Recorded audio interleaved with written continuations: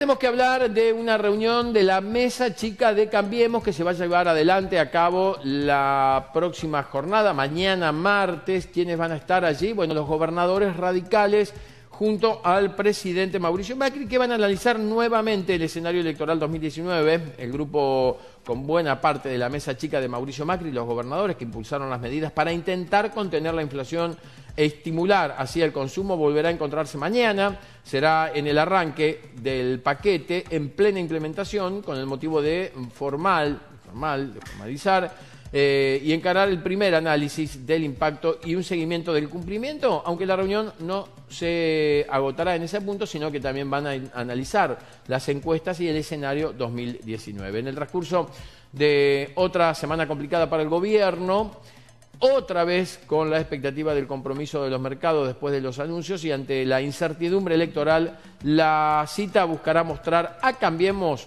cohesionado e incluirá así discusiones de estrategias y escenarios de campaña. Vamos a analizar el impacto de las medidas que consensuamos con ellos, la estrategia de los próximos meses de cara al cierre de las listas nacionales preparar la Convención Nacional de la Unión Cívica Radical también, adelantaron en el gobierno al confirmar la reunión para el día martes por la tarde en Casa Rosada.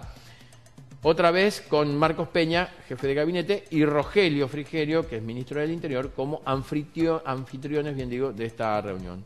Va a ser una reunión de análisis y de seguimiento, coincidió uno de los mandatarios radicales que pertenecen a Cambiemos.